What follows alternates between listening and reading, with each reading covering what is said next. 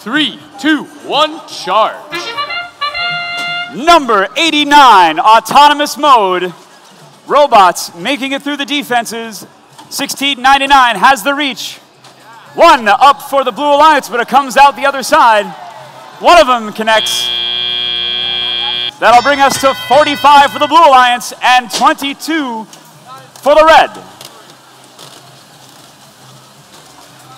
Buzz Robotics trying to rebound after that autonomous mode, but it reflects off of the top of the tower. 166 flies out of the right side of the tower once again.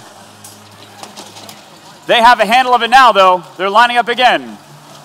Aluminum Falcons. Launch it up.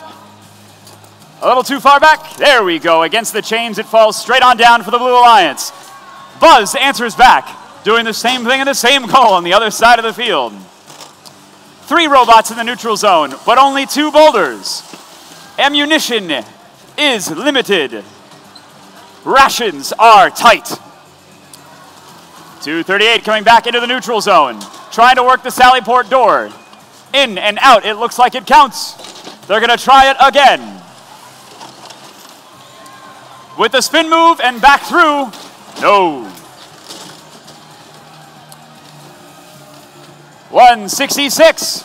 They take care of cheval de frise, and not quite enough to get the boulder in the top of the tower.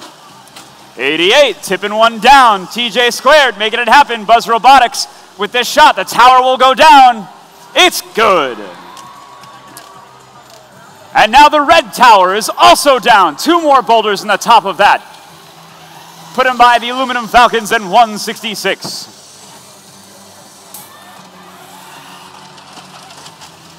Sixteen ninety nine, trying to get a boulder out of their own secret passage.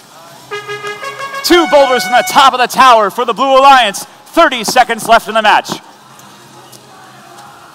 Buzz Robotics with the searchlight. One more time. It's good. 20 seconds left. The climbing begins. 175 puts it up in the air. They make quick work of that climb. Aluminum Falcons pop one up. Not forward enough. It looks like everyone is solidly on the batter, bringing this match to a close.